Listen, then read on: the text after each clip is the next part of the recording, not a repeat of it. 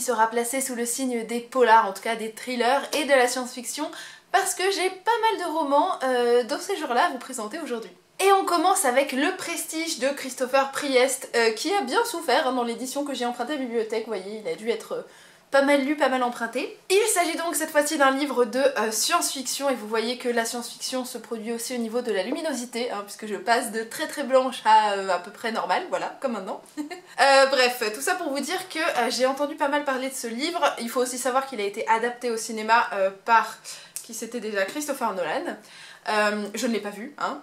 Et il y a Alexia et Cassandra qui m'en ont déjà parlé. Je sais plus si les deux l'ont lu, mais en tout cas, elles m'en ont parlé toutes les deux et forcément ça a attisé ma curiosité quand je l'ai vu. hein. Je me posais déjà la question de l'acheter aux Imaginales hein, parce qu'au moment où je tourne cette vidéo, ce n'est pas euh, les Imaginales, ce n'est pas encore passé et au moment où vous verrez cette vidéo, je pense que les Imaginales seront passées depuis belle lurette, hein, voilà. Bref, tout ça pour dire que ce bouquin m'intriguait depuis un sacré paquet de temps et on est donc, je pense, hein, dans un roman de science-fiction fantastique, peut-être plus fantastique que science-fiction d'ailleurs, puisqu'en fait on va suivre, euh, en- apparemment au tout début du livre, euh, deux prestidigitateurs qui sont assez célèbres apparemment et qui s'affrontent dans des duels assez importants, je crois. Je sais pas si c'est à mort, mais en tout cas, ils se laissent pas trop trop. Euh, Enfin, ils sont pas très amicaux l'un avec l'autre, quoi qu'il arrive.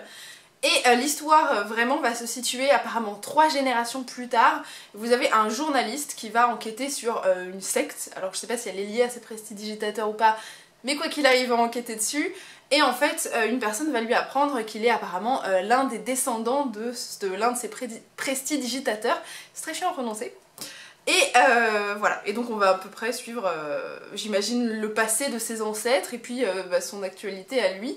Et voilà, et je sais pas dans quel sens ça va aller, mais tout ce que j'ai cru comprendre, c'est que c'est assez épique, plein de suspense et que c'est assez addictif. Donc j'espère que j'aurai cette même... passion hein, et que ça me plaira tout autant que les critiques assez positives que j'ai toujours entendues. J'ai terminé le prestige et euh, dans l'ensemble c'était une chouette lecture. Alors je pense qu'elle conviendra certainement pas à tout le monde dans le sens où même si c'est assez distrayant, le rythme est quand même on va dire assez lent. Euh, c'est presque du euh, je te raconte ce qui se passe mais je le fais pas. C'est en fait un espèce de presque journal intime qui est tenu par plusieurs personnes qui vont raconter leur histoire. Donc en l'occurrence bah, les deux magiciens prestidigitateurs dont je vous parlais. Donc c'est assez intéressant, mais franchement ça prend son temps à s'installer. Vous avez l'histoire du coup des deux points de vue, Euh, vous avez euh, certains mystères qui se révèlent au fur et à mesure, donc c'est intéressant, mais euh, voilà, je pense que ça, ça peut paraître très lent, ça peut être pas forcément le plus palpitant pour la plupart des gens, donc voilà, c'est un élément à prendre en compte durant votre lecture, et si vous passez au-delà de ça, bah, moi j'ai bien aimé, c'est quand même assez immersif, on se représente quand même bien l'univers, les personnages, et on a surtout une bonne visibilité, on va dire, sur leur psychologie, donc c'est quand même assez bien creusé à ce niveau-là, donc c'est plutôt chouette. Euh, voilà, il y a quelques petits mystères, vous vous posez des questions au fur et à mesure de votre lecture, vous essayez de résoudre entre guillemets certaines énigmes, donc c'est assez sympa. Donc voilà, dans l'ensemble c'était une bonne lecture, je suis pas certaine qu'elle me marque à vie, hein, très honnêtement. Euh, mais bon, voilà, euh, je le recommande si vous aimez un petit peu l'univers des prestidigitateurs, de la magie, euh, bah, aussi une histoire qui va se passer euh, entre la fin du 19e siècle et le début du 20e. Euh, ça peut être sympa pour cette époque, cet univers, ces mécanismes aussi qui ont peut-être pas forcément évolué au niveau de la, prestidigitation. Voilà, c'était une bonne lecture et pour le coup une bonne première approche de cet auteur. Je suis ensuite tombée euh, avec pas mal de plaisir sur Black Messi de Simonetta Greggio, ou Greggio, hein, je ne sais pas mais bon, euh, l'un ou l'autre. Euh, il avait été présenté dans le cadre du Femini Books par Pedro Plume, si je me trompe pas sur le pseudo. Et euh, ça m'avait pas mal intrigué puisque cette fois-ci on est dans un euh, polar, un thriller. Et euh, alors on va suivre une série de meurtres hein, qui ont lieu, euh, je crois que c'est en Italie, hein, oui c'est ça, à Florence, où vous avez en fait euh, au cours des années donc euh, 70 et euh, 80, enfin quand je dis 70 c'est parce que c'est la fin des années 60, voilà je, vois large, vous avez plusieurs couples qui se font assassiner, euh, je crois qu'il y en a 6 ou 7, quelque chose comme ça, Euh, donc c'est assez énorme, et euh, le principal suspect de ces assassinats euh, va euh, mourir avant même de pouvoir être jugé coupable ou qu'on ait pu prouver que c'était bien lui euh, qui avait assassiné tous ces couples. Donc le mystère reste totalement irrésolu. Et en fait, euh, plusieurs années plus tard, euh, il va y avoir un espèce de phénomène euh, qui va se reproduire, puisque cette fois-ci, plusieurs jeunes filles vont se faire assassiner. Je ne sais pas si c'est sur le même mode opératoire, mais quoi qu'il arrive, on va se dire, tiens, ça a recommencé. Donc est-ce que c'est la même personne que les précédents meurtres, ou est-ce que c'est une personne nouvelle? Voilà, je suis très curieuse de lire et, et pareil j'espère que je l'aimerais autant que les critiques assez positives que j'ai pas mal entendues puisque du coup j'avais été jeter un petit coup d'œil après et ça avait l'air plutôt pas mal. Eh bien, euh, j'ai abandonné cette lecture, voilà. J'ai essayé de la lire pendant 2-3 jours, mais euh, bah, ça le faisait pas. Hein. C'est, euh, la narration est très particulière, on suit énormément de personnages différents, et je vous avoue que j'ai lu à peu près une centaine de pages, donc le livre est pas très gros, hein, mais je m'attachais à à peu près personne, et j'avais pas envie de poursuivre ma lecture. Donc c'est dommage parce que c'est un livre que j'aurais bien aimé apprécier, puisque j'en ai entendu de bons échos. Euh, voilà, peut-être que je le réessayerai plus tard, je ne sais pas. Euh, ça avait pas mal d'ingrédients pour me plaire, hein, puisque vous avez des, meurtres particulièrement cracra. Euh, une histoire qui comme ça a l'air assez intéressante. Mais voilà, le début était trop peut-être poussif pour moi et du coup j'ai pas, pas réussi à accrocher.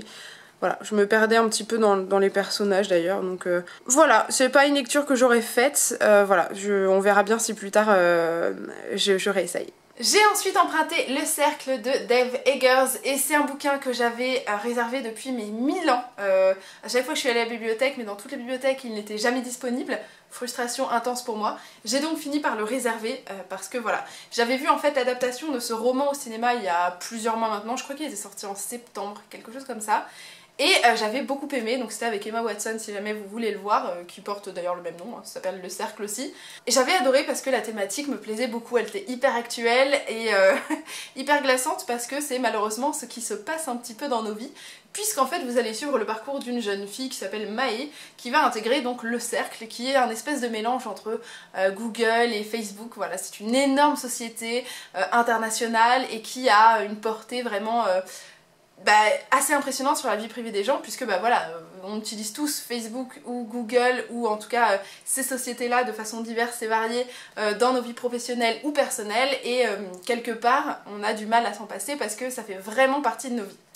Bref, Maïe va donc intégrer cette société et euh, voilà, c'est le genre de société, bah, comme Google, hein, où vous avez des campus où vous pouvez y vivre un petit peu, hein. vous avez euh, des activités sur place, vous pouvez euh, presque emmener vos enfants hein, pour qu'on s'en occupe, bref, vous avez toutes les commodités qui font que bah, en fait vous allez rester travailler plus que prévu, on va dire ça comme ça.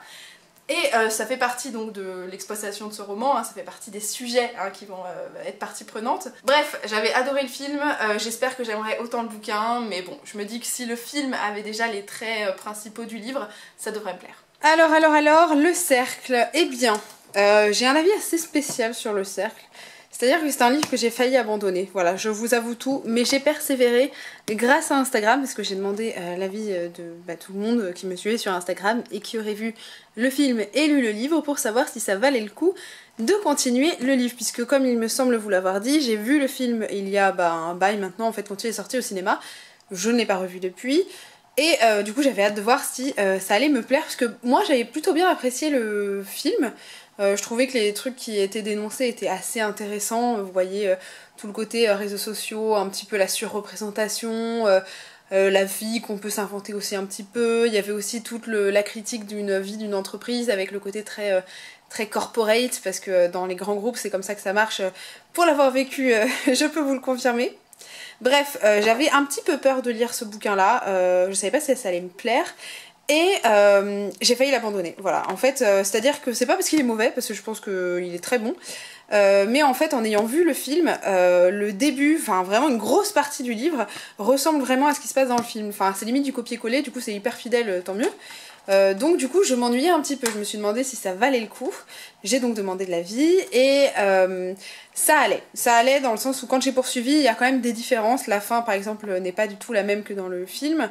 Euh, je trouve d'ailleurs le bouquin plus pervers encore que ce qui se passe dans le film si jamais vous l'avez vu. Et au final, c'est quand même très intéressant de poursuivre ma lecture, même si je lui trouve quand même certaines longueurs, parce que dans l'ensemble, la trame reste assez proche du film. Donc c'est vrai que si vous l'avez vu, Bon, ce sera pas forcément la lecture la plus palpitante, même si honnêtement les dénonciations qui sont faites sont hyper hyper intéressantes. Donc voilà, je peux vous le recommander, je pense pour bah, les thématiques que j'ai citées précédemment. Euh, je pense que si vous n'avez pas vu le film, euh, franchement ce sera une belle découverte parce que euh, c'est assez bien décrit et les phénomènes psychologiques et de groupe sont hyper bien exploités je trouve. voilà, et c'est assez malheureusement représentatif de notre société. Donc voilà, moi c'est plutôt une bonne lecture, même si bon bah c'est en bémol à cause du film. Euh, parce que effectivement, euh, c'est pas que j'étais spoilée sur tout, mais bon, euh, globalement, on voit les mêmes lignes, donc bon. Voilà, mais il y a quand même une sacrée différence, on va dire, au niveau de l'issue et du personnage principal, même je dirais, de son évolution dans le livre par rapport au film. Donc voilà, n'hésitez point, moi c'était plutôt un bon moment que j'ai passé. J'ai ensuite emprunté une autre vie de S.J. Watson, qui est là bah, un thriller, hein, voilà. J'avais déjà lu de cette autrice, parce que je crois que c'est une autrice, euh, avant d'aller dormir, que j'avais beaucoup aimé, qui avait eu une petite adaptation aussi au ciné avec, euh, comment elle s'appelle Nicole Kidman, voilà. Euh, bref, donc cette fois-ci on est donc dans un thriller et on va suivre une jeune femme, ou enfin une femme en tout cas, qui vit à Londres et qui en fait va être appelée du jour au lendemain, on va l'informer en fait de la mort de sa sœur qui a été retrouvée morte en France, près du, canal de l'Ourcq, voilà, hein. je sais pas si le détail est important mais c'est dans le résumé. Et euh, bah même si elle n'était pas très proche de sa sœur parce qu'elle s'était perdue de vue, elle va euh, se rendre sur place à Paris, je suppose dans son appartement, elle va essayer de comprendre les circonstances de la mort de sa sœur, puisque bah du coup ça ressemble à un assassinat, hein, c'est pas, pas une mort naturelle. Et euh, elle va s'apercevoir que sa sœur fréquentait énormément les sites de rencontres en ligne et elle commence à se dire, je suppose, hein, euh, que ça a probablement quelque chose à voir dans sa mort et que peut-être euh, l'assassin de sa sœur faisait partie des personnes avec qui elle aurait pu discuter ou une rencontre voilà, qui aurait très très très mal tourné. Elle va donc plus ou moins se faire passer pour elle et bah écoutez, elle va se mettre sur les traces, je pense, de, son assassin. Et, et, puis voilà, et puis on va le suivre là-dedans. Et vu que j'avais beaucoup aimé avant d'aller dormir, bah écoutez, je pars avec un a priori assez positif sur celui-ci et j'espère que ce sera aussi addictif et que ça me plaira euh, tout autant. J'ai donc terminé une autre vie de S.G. Watson et euh, ça allait, c'était plutôt une bonne lecture, pas la meilleure que j'ai faite sincèrement. Euh, j'ai trouvé que le début était long à venir, je sais pas, j'ai trouvé que ça mettait pas mal de temps à s'installer et je pensais que ça démarrait un peu plus vite ou que ce serait un petit peu plus, on va dire, stimulant dès le début du livre. Euh, ensuite, ça part dans une direction que franchement j'avais pas anticipé. Je pensais pas que on serait là-dedans parce qu'on est vraiment plus dans du thriller psychologique clairement. Et je pensais qu'on serait plus focus sur, euh, entre guillemets, euh, ce qui arrive à la sœur de l'héroïne. Alors ça fait partie de l'histoire, mais je pensais que ce serait plus classique, on va dire, dans la hum, construction de l'histoire. Mais on est vraiment focus sur le personnage principal, ce qu'elle vit et ainsi de suite. Et disons que je m'attendais pas forcément à cette, cette histoire. En soi, ça m'a pas dérangé parce que c'était assez, euh, même carrément assez malaisant hein, ce qui se passe. Donc euh, moi, ça me dérange pas en tant que lecture. Justement, ça a plutôt tendance à m'intriguer quand euh, ce qui se passe est assez, assez toxique ou pas forcément chouette. Donc bon, j'étais contente de découvrir ce pan de l'histoire.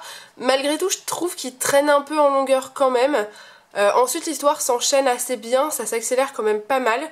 Euh, voilà, donc euh, la chute était pas forcément ma préférée, je trouve que c'était un peu, euh, pas forcément facile, mais bon, c'était pas la meilleure. Voilà, c'était une bonne lecture, mais je pense que j'aurais préféré son autre livre à cet auteur qui était Avant d'aller dormir. Voilà, c'était une bonne lecture, un bon petit thriller, pas le meilleur, très sincèrement, je pense que je vais l'oublier assez vite finalement. Donc bon, je suis contente de l'avoir lu à la bibliothèque parce que ça évitera une, déception si je l'avais acheté. Sans grosse surprise, vous voyez arriver du Sir Cédric dans cette pile à lire, bah c'est normal, hein. je suis assez accro à la façon dont il écrit parce que c'est toujours de bons gros page turners et euh, bah, ça passe toujours très très bien. Il s'agit cette fois-ci de euh, Le Premier Sang, donc de Sir Cédric. Alors, euh, on est donc encore une fois dans un bon thriller et on va encore suivre, enfin encore, Ouais, si, on suit un peu souvent des petits flics, mais on n'a pas que, hein, pas que ça. Là, on va suivre donc une enquêtrice qui va euh, partir en fait euh, en. comment dire. Euh, oh, je sais plus, en planque, voilà, sur un baron de la drogue parisien, je crois. Oui, c'est ça. Et ils vont donc aller surveiller ce qui se passe dans son appartement et en fait je crois que le gars va être retrouvé mort, en tout cas il est brûlé vif, hein, voilà c'est comme ça qu'on nous l'annonce dans le résumé. Et euh, apparemment les méthodes ne ressemblent pas euh, aux méthodes traditionnelles de meurtre hein, euh, dans la mafia. Hein. Moi je les connais pas mais bon apparemment c'est pas comme ça que ça se passe.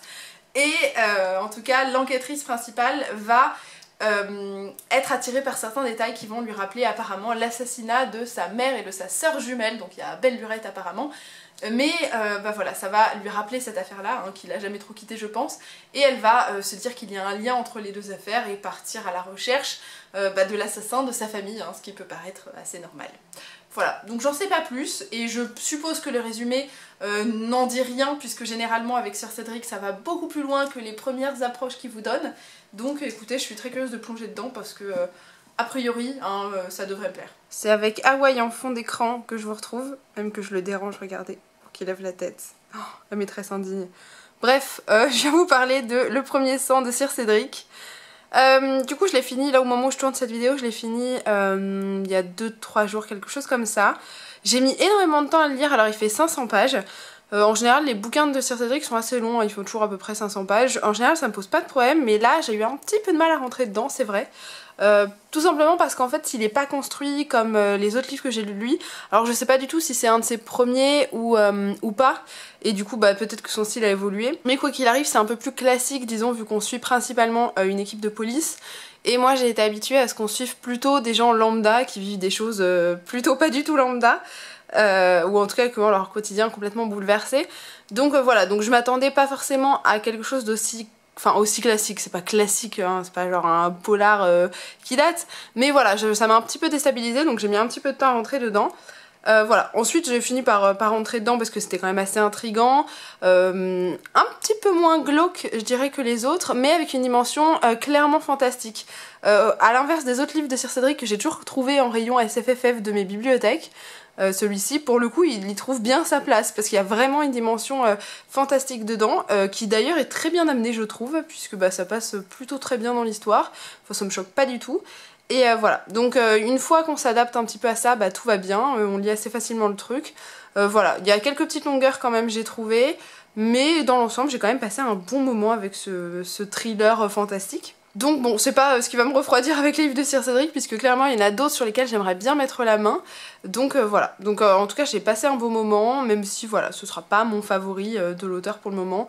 Je pense que Du Feu de l'Enfer fait partie des meilleurs, à mon sens. Et enfin, dernier emprunt de cette euh, vidéo, il s'agit de Petit de Hubert et Gatignol. Et au moment où je filme cette vidéo, je triche un petit peu puisque j'ai pas résisté à l'envie de commencer à le parcourir. Et j'ai bien fait parce que c'est vraiment, vraiment cool. Donc il s'agit euh, bah, d'un roman graphique, moi je dirais plus que une BD, hein, parce qu'on est vraiment euh, sur un hybride, puisque vous avez, euh, en fait je vais vous montrer, alors il est très lourd donc je vais essayer de faire attention. Vous avez une partie BD on va dire assez traditionnelle, alors le livre est un peu en arrière parce que c'est très lourd, hop. Voilà, vous avez une partie un petit peu traditionnelle avec bah, voilà, une BD. Alors tout est en noir et blanc, hein, c'est c'est euh, la petite euh, originalité on va dire de ce roman graphique, mais pas la seule puisque vous allez voir que en fait vous avez cette partie BD classique et en fait au fur et à mesure de l'histoire on va vous présenter certains personnages de cette histoire là, enfin pas que, voilà à travers des petits portraits. Euh, donc vous avez en général une belle petite page de garde illustrée, mais ensuite en fait vous basculez sur voilà, une petite histoire écrite. Alors en général c'est 2-3 pages, hein, c'est pas énorme, mais euh, c'est hyper chouette, c'est hyper immersif et ça vous permet d'en savoir plus sur les personnages. Et vu que je blablate sur l'originalité euh, du, livre, je ne vous dis pas du tout de quoi ça parle, mais vous allez donc suivre en fait, euh, pas une colonie d'ogres, mais une famille d'ogres quand même, un royaume en fait, puisque lui, c'est le, le roi des ogres actuellement. Et en fait, au début du récit, sa femme va accoucher. Alors elle ne savait pas du tout qu'elle était enceinte, euh, mais elle va accoucher. Et en fait, elle ne l'avait pas senti parce que son enfant était petit. Voilà, il n'a pas la taille traditionnelle euh, d'un ogre. Et donc forcément, bah, elle s'est pas rendu compte qu'elle était enceinte. Sauf que voilà, un, petit ogre, ça ne passe pas du tout dans le royaume, il faut être grand et gros parce que c'est comme ça qu'on est un vrai ogre.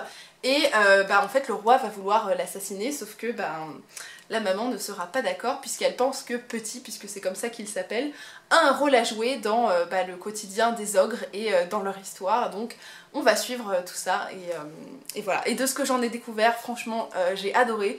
Donc il n'y a aucune chance que ça ne me plaise pas. Je viens donc vous parler de Petit, donc comme je vous l'avais dit, j'avais déjà un petit peu commencé et voilà, je l'ai lu en fait très très rapidement parce que c'était trop bien quoi, j'ai vraiment adoré euh, ce que j'ai lu. Euh, donc c'est vraiment un petit conte gothique, hein, je dirais. On est vraiment dans du, conte gothique parce que vous avez une histoire qui est à la fois euh, originale, assez sombre. Hein, elle est quand même même très sombre. Vous allez le voir, je vais vous montrer rapidement les premières planches, vous allez comprendre pourquoi. Et euh, en même temps, les personnages sont hyper attachants, c'est très très original. Euh, vraiment, euh, c'est un bon petit coup de cœur. Donc il y a de fortes chances, bon déjà que j'emprunte le deuxième tome à la bibliothèque, mais que j'achète tout simplement le premier tome parce que bah, c'est un, très beau livre et je serais très contente de l'avoir dans ma bibliothèque. Donc je ferai peut-être ça plus tard. Donc pour vous montrer rapidement ce que je disais, vous avez, bon déjà c'est très joli, hein, vous avez un petit, un petit arbre généalogique des ogres de la famille, voilà voilà, vous avez donc de très belles planches. Enfin, moi j'adore les dessins. Ils sont aussi très ronds et j'adore les traits un peu, un peu souples, un peu ronds. Enfin, c'est quelque chose qui m'attire toujours, hein, vraiment. Euh, voilà, par exemple, j'ai beaucoup d'attachement pour ses yeux. Alors, ils ont tous des yeux assez ronds. Enfin, pas tous, non, c'est pas vrai. Euh, mais voilà, j'aime beaucoup ces planches. Et pour le côté un petit peu macabre, bah, vous allez le voir assez rapidement, puisque, euh, voyez-vous, le roi des ogres est en train de, voilà, littéralement découper un humain. Voilà, et puis vous avez des plats d'humains, c'est-à-dire que là, c'est un, un, pain farci à l'homme. Hein, voilà, ils sont servis d'ailleurs par des humains. Et bah, vous avez des humains qui se font manger de partout. Voilà, une petite salade de, de gens. Hein. Petit, petit encas sympathique aussi par là. Et là, vous avez même euh, plein de petites têtes. Voilà, ça doit être un petit mets assez, euh, assez sympa. Et puis, vous voyez même qu'une humaine porte euh, bah voilà, les têtes de ses congénères qui vont bientôt être mangées. Voilà, c'est très macabre, c'est très sombre. mais j'aime j'aime vraiment pas mal. Voilà, c'était vraiment très sympa à découvrir.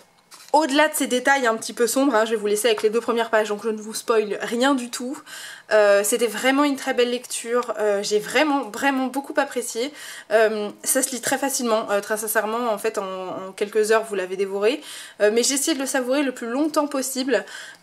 j'ai adoré découvrir le parcours des personnages, il y a un peu de cruauté, il y a, un peu d'injustice et, parfois des volontés de faire de la justice. J'ai aussi beaucoup aimé donc les parties qui s'appellent euh, le livre des aïeux. Donc euh, en fait on vous présente régulièrement des personnages qui font partie de, euh, bah, de toute l'histoire des ogres en fait un peu partout. Comment ils ont pu jouer un rôle dans l'histoire actuelle, comment ils ont pu transformer l'histoire et ainsi de suite. Et ça vous permet bah, du coup de mieux comprendre tout cet univers. Ça le rend hyper immersif et vraiment c'était un très très chouette voyage.